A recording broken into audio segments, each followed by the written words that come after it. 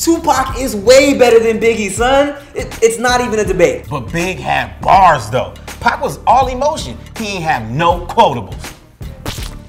What are you talking about, dude? All Eyez on Me? That's a classic, man. Big had like two albums. Pac like a million. That lets you know right there, quality over quantity. He ain't need that much. It's Good though.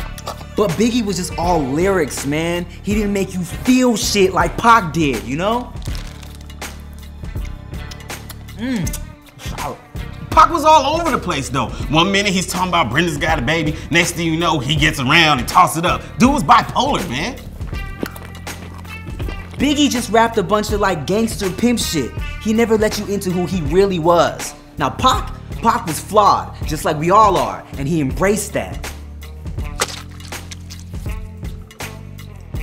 Big painted pictures for you though, bro. It's like you was watching what he was saying.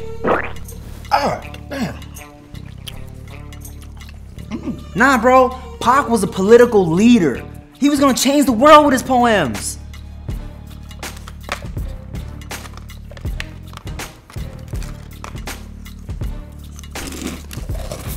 He had thug life tatted on his stomach.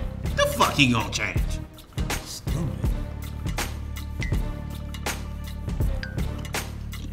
Alright, well, I guess we can agree to disagree.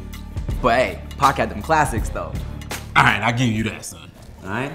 Let's go find some hoes. I'm down. Ooh.